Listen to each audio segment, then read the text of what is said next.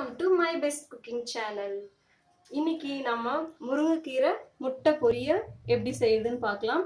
அதுக்கு தேவையான பொருட்கள் முருங்கைக்கீரை எண்ணெய் தாளிக்கிறதுக்கு கடுகு வெங்காயம் கொஞ்சமாக நறுக்கின பூண்டு கடலப்பருப்பு உளுத்தம்பருப்பு கொஞ்சம் காஞ்ச மிளகாய் மஞ்சத்தூள் கொஞ்சம் மிளகாத்தூள் ஒரு அஞ்சு முட்டை எடுத்துருக்குறேன். கொஞ்சம் கீரை வேக வைக்கிறதுக்கு தேவையான கொஞ்சம் தண்ணி.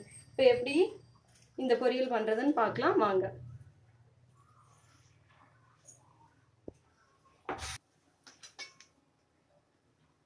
ஒரு வானல் வச்சுட்டு இந்த பொரியலுக்கு இந்த முருங்கைக்கீரை முட்டை பொரியலுக்கு வந்து நிறைய எண்ணெய் விடணும் அப்பதான் நல்லா இருக்கும்.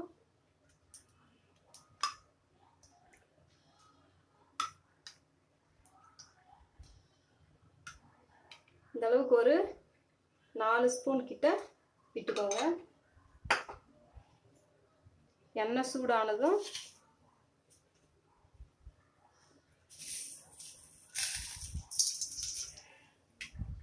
கொஞ்சம் கடுகு போட்டுக்கோங்க.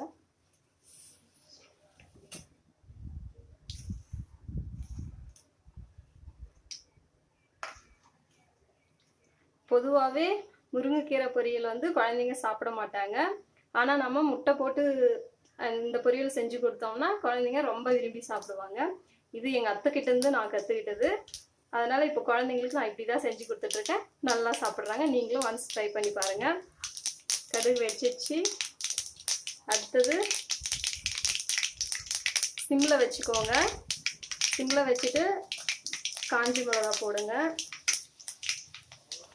நம்ம ரெட் சில்லிஸ் கூட போடலாம். பட் முருங்கைக்கீரையும் க்ரீன்ன்றதுனால குழந்தைங்க தெரியாமல் கடிச்சிட்டாங்கன்னா திருப்பியும் சாப்பிடவே மாட்டாங்க. அதுக்காக தான் அடுத்தது கடலப்பருப்பு உளுத்தம்பருப்பு போட்டுக்கோங்க.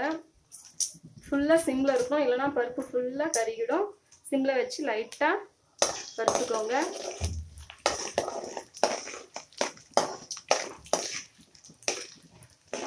எப்பவுமே இந்த முருங்கைக்கீரை முட்டை பொரியலுக்கு வந்து இந்த மாதிரி கடலப்பருப்பு உளுத்தம் பருப்பு ஆட் பண்ணால் ரொம்ப நல்லாயிருக்கும் வாசனை.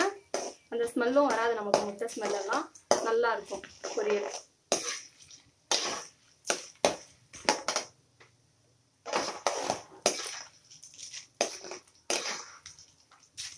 பாருங்க கடலப்பருப்பு இந்த அளவுக்கு லைட் ப்ரௌன் கலர் இவ்வளோ இந்த அளவுக்கு வந்தாலே போதும். அடுத்தது நம்ம பொடியாக நறுக்கி வச்ச பூண்டு வெங்காயத்தை சேர்த்துக்கலாம். இதுக்கு கொஞ்சம் நல்லா நிறைய வெங்காயம் போட்டுக்கோங்க. அப்போதான் நல்லா இருக்கும் முருங்கைக்கறிக்கும் முட்டைக்கும் காம்பினேஷனுக்கு இப்போ கொஞ்சம் நல்லா ஹையில் வச்சு நல்லா வதக்கிக்கலாம் வெங்காயத்தை. இந்த அளவுக்கு வதங்கினா போதும்.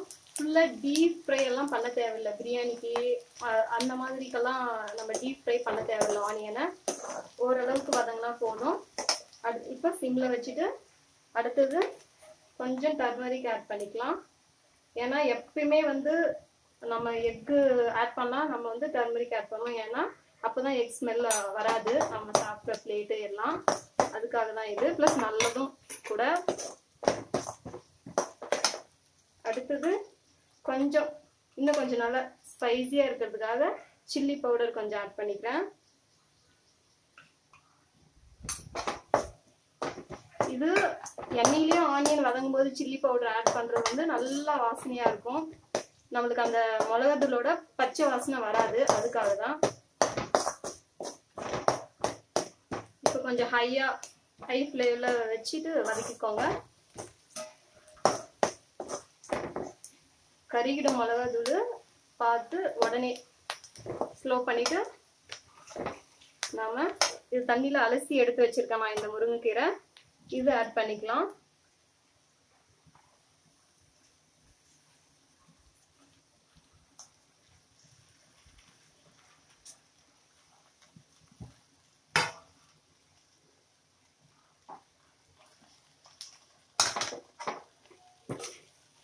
இப்போ ரெண்டுத்தையும் நல்லா வதக்கி விட்டுடுங்க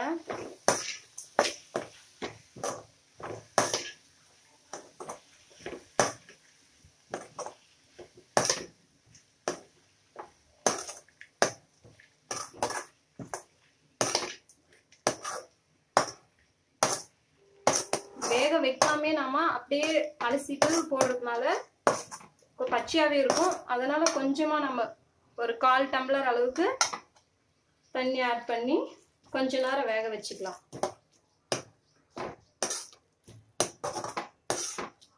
இந்த அளவுக்கு கீரை ஓரளவுக்கு முக்கால் பாகம் மிதக்கிற அளவுக்கு வேக வச்சுக்கலாம். ஒரு மீடியம் ஃப்ளேமில் வச்சு வேக வச்சுட்டு அப்புறமா நாம் முட்டை ஆட் பண்ணிக்கலாம். கொஞ்ச நேரம் இது வேகட்டும் பாருங்க ஓரளவுக்கு வெந்து வந்திருக்கு கொஞ்சம் உப்பு இதில் ஆட் பண்ணிக்கலாம்.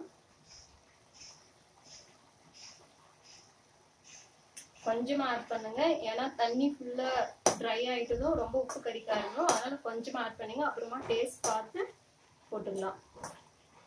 திருப்பியும் மூடி விட்டுடுங்க. தண்ணி ஃபுல்லா ட்ரை ஆயிடட்டும். பாருங்க ஒரு பத்து நிமிஷம் ஆயிடுச்சு. நல்லா வெந்துட்டு இருக்கோம்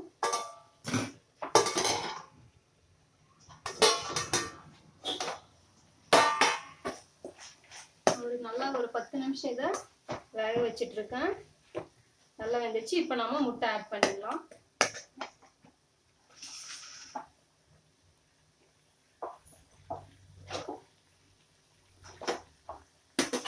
சிம்ல வச்சுக்கோங்க. இல்லைன்னா ஃபுல்லாக அடி பிடிச்சிடும் முட்டை.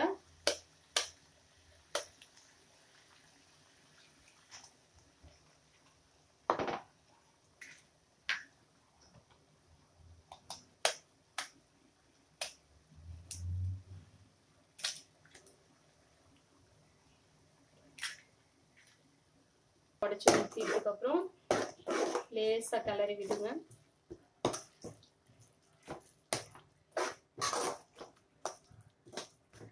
கொஞ்சம் அடுப்பை கொஞ்சம் வச்சுக்கோங்க.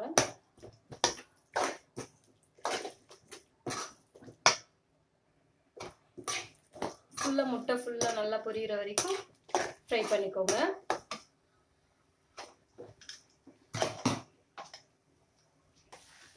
பாருங்க நல்லா ஃப்ரை ஆயிடுச்சு.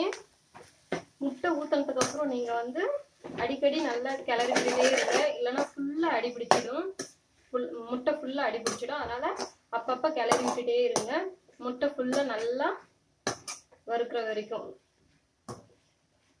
பாருங்க நல்லா ஃப்ரை ஆயிடுச்சு ரெண்டுமே. டேஸ்ட் பார்த்துக்கோங்க. நான் பார்த்துட்டேன். கரெக்டாக இருக்குது உப்பு அளவு. இந்த டைமில் வந்து டேஸ்ட் பார்த்து உப்பு வேணும்னா கொஞ்சம் ஆட் பண்ணிக்கோங்க. சுவையான முட்டை பொரிய ரெடி நீங்களும் மறக்காம இதை உங்க வீட்டில் ட்ரை பண்ணுங்க. அப்படியே இந்த சேனலை மறக்காம லைக் பண்ணுங்க சப்ஸ்கிரைப் பண்ணுங்க. அப்படியே பெல் பட்டனையும் கிளிக் பண்ணுங்க. தேங்க்யூ